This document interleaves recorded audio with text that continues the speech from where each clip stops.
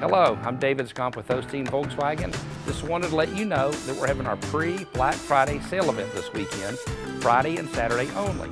With any new or pre-owned car purchase this weekend, we will give you a $250 Visa gift card to help you with your holiday shopping needs.